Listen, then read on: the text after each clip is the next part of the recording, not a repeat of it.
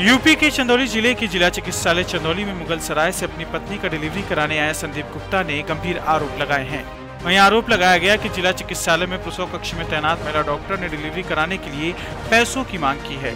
कमलापति में मैं दो दिन से दौड़ रहा हूँ और ये दूसरा दिन है ये। और मैं वहाँ पे जाके जैसे एडमिट के लिए क्या कहा गया था मुझे तो मैं वहाँ पे गया और कि जी जी बताएँ। अल्ट्रासाउंड के लिए मुझे कहा गया ब्लड टेस्ट के लिए कहा गया तो मैंने कराया। कराने के बाद एडमिट के लिए इन लोगों ने सर और मैडम मैडम थी वो बोले कि एडमिट के लिए अब जो है कि कर लीजिए। हम बोले ठीक है एडमिट हम करा दे रहे हैं। उसके बाद हमको धीरे से जो है कि अंदर बुलाई हॉस्पिटल में रूम में तो बोली कि पैसे का डिमांड की किस लिए पैसे मांग रही थी? ऑपरेशन के लिए। किसका ऑपरेशन होना है? मेरी मैडम का। क्या हो गया है आपकी मैडम को? उनको डिलीवरी होने वाला है। जिसे लेकर पीड़ित ने डॉक्टर के खिलाफ उच्च अधिकारियों से शिकायत और कार्रवाई की जाने की मांग की।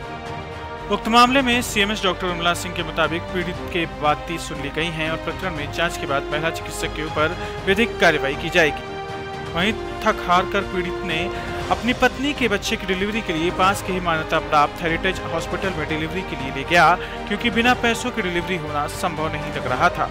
लाल मामले में कार्रवाई की जाने की बात कही जा रही है।